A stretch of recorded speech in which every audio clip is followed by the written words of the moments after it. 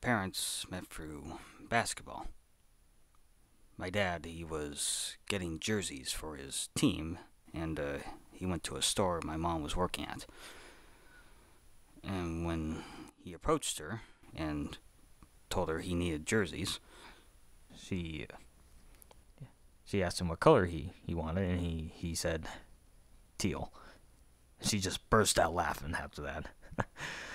and I I guess it was just I guess things just took off from there. My dad was a big fan of sports. I mean, he loved he loved everything, especially baseball. He he was an umpire, like like one part of his life. Actually, he even wanted to become a coach for for like little leagues and whatnot. And when I asked him why he never did, I'm not 100% sure this is what he said, but he said something like, it just slips by you. And, uh, yeah. yeah. So, said he became a construction worker delivering lumber for companies and just being a, being a father to me and my sister. I best I can what I can say what my dad's best trait was is that um he always knew how to make you laugh, you know. You know, whether we where we say something something stupid or smart, he would always have a witty comeback for and it would just get us like bawling all over the floor. And he always have a lot of stories to tell. Uh, stories from his past, like how, how he would get into fights with his brother, get into fights with bullies at school. He did a lot of great things as a father. You know, he helped me get my driver's license, taught me how to drive. He especially told me never to half-ass anything, which means, you know, just always do your best. And he was a good man. Dad was also quite the drinker. Uh, sometimes it wasn't too many bottles or beer cans, but later in life it kind of just started to grow excessively. I'd find bottles in the bathroom cabinets, in drawers, like just all over the place.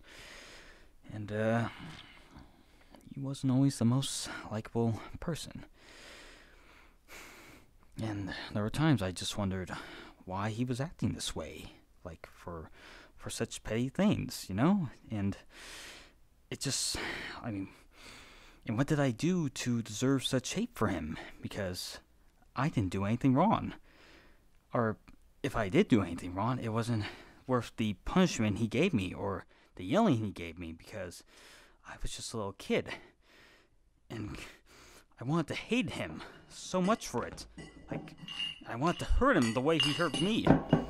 And now, now he's dead because, because, he didn't know when to put the fucking bottle down.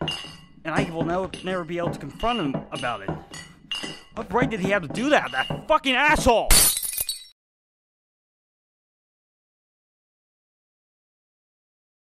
But I can never hate him. It's my dad.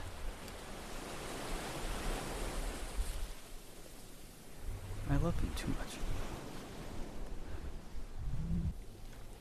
I wish he was here. I want to have more memories with him. Is that too much to ask for? Just, just five more minutes?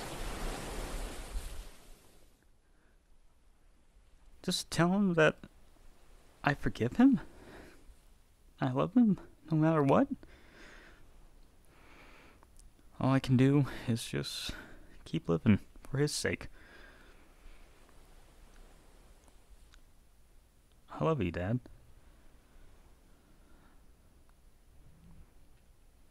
And I hope you don't hate me for all the things I'm saying right now because I'm not trying to put you in a bad light. I'm just trying to give an honest portrait of you.